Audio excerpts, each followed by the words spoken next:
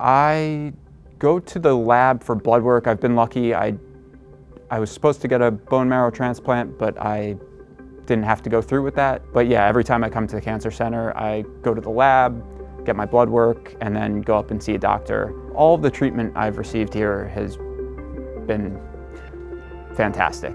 Um, I was initially nervous, definitely nervous to come in to the cancer center uh, when COVID started, but after my first visit, I realized it was safer here than going to a grocery store.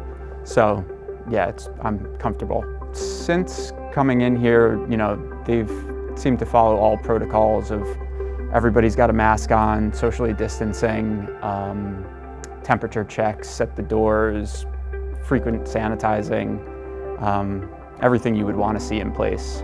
I would say to anybody that's kind of hesitant about coming into the cancer center or to get any kind of treatment in general, this is a safe place to be. All the safety protocol that you would want is in place here.